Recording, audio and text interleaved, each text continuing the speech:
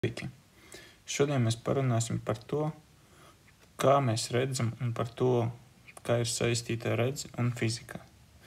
Bieži vien, kad mēs runājam par redzi, mēs eh, domājam, ka nu, ir, esam kaut kāds mēs, cilvēciņš, un uh, ir kaut kāds objekts, piemēram, zieds. Ja.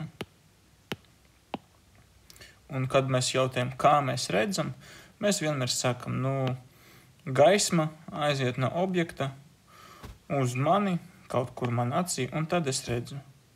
Bet, uh, diemžēl, šāds, mm, šāds skaidrojums nav pilnīgs. Un mēs mēģināsim parunāt par to, kā, kā mēs redzam un kā fizika ir saistīta ar to. Uh, gribu pievērst jūsu uzmanību tam, ka šim procesam, redzēšanai un fizikai, ir uh, tādas galvenās lietas, no kurienes gaisma atnāk uz objektu.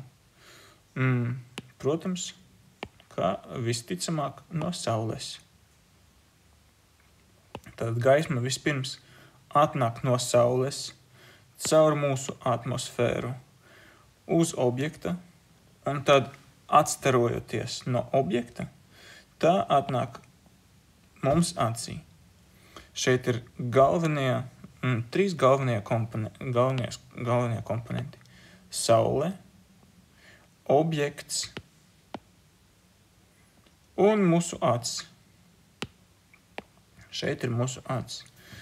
Mums ir interesanti saprast, kā un kur un kādā veidā gaisma atnāk uh, mm, no saules līdz mūsu acī.